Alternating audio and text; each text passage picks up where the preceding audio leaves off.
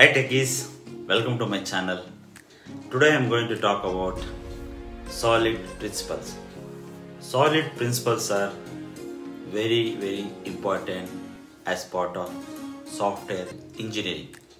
Who are becoming a software engineers or who are already software engineers, they have to strictly follow solid principles while developing their software. Okay? Let's start. In solid principles, each letter in solid defines specific principle for the software development. Okay? So let's start with the first letter in solid, which is S. S means single responsibility principle. Single responsibility principle is like Swiss knife. You can see in my background what is Swiss knife. Swiss knife will have different different tools and each tool will have its own specific purpose and it is clear. Like that our programming also should have specific responsibility for the each part and it should not be overwritten by different different programmings and it should not be very complex. Okay? And uh, if you follow single responsibility principle it will avoid complexity and ensuring the main maintainability in the code. The next character in solid principle is o. O means open closed principle. The open closed principle as applied to the train system. Okay? It looks like a train system. Okay? We can take an example of train. Train will have different different boxes. Okay? Each box will have its own seat and seat numbers. And if you want to add a new box we can add without changing the existing boxes. Okay? So in the code also we should be able to add new functionality without changing the existing code.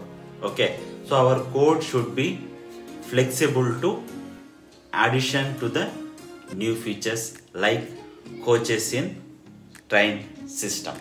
Okay. Our next letter in solid principle is l.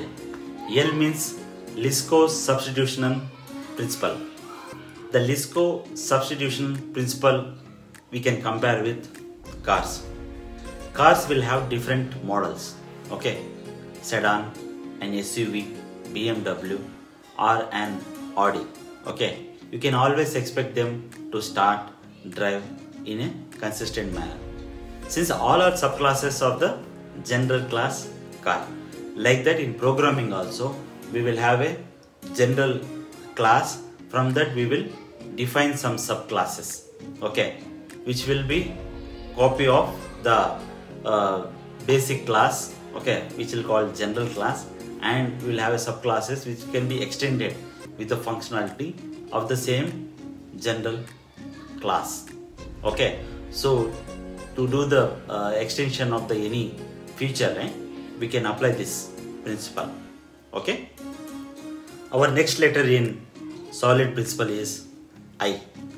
I means interface segregation principle. Okay so this one we can compare with uh, chargers.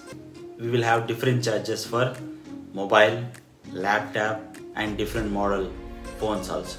Okay if you want to charge a uh, mobile phone there is a multi-port charger also. Sometimes we will carry that. So that is not correct okay in programming also what we'll do we will write a class and we will have different uh, functionalities in the same class. Okay but it should be only one functionality in one class. Okay like we are carrying the uh, port for the laptop we are carrying the port for the tablet which is not required for the mobile phone. Okay so this principle will tell that we should have a separate separate class for their purpose. We should not mix the purposes in single class. Okay? Our next letter in solid is d. D means dependency inversion principle. This is very important principle in programming. Okay? What is dependency inversion principle? When using a news app on my phone it should not matter if i am connecting to wi-fi or mobile network. The app should function regardless of the type of internet connection. Like that our programming should not be dependent on how we are connecting to the objects okay? So it should work independently. There should not be any dependency on the other object okay? The dependency should get injected to the program as per the requirement. It should work properly. That is what it means. Dependency inversion principle. Okay. I hope you understood what is solid principles. Okay. And how we need to apply in our programming languages and in software development. Okay so you can remember easily this solid principles with my examples okay? And uh, it's not very difficult okay? So i hope you understood all the concepts properly okay?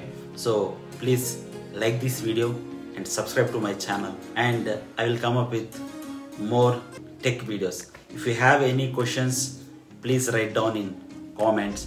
I will reply to your comments okay? See you soon Thank you.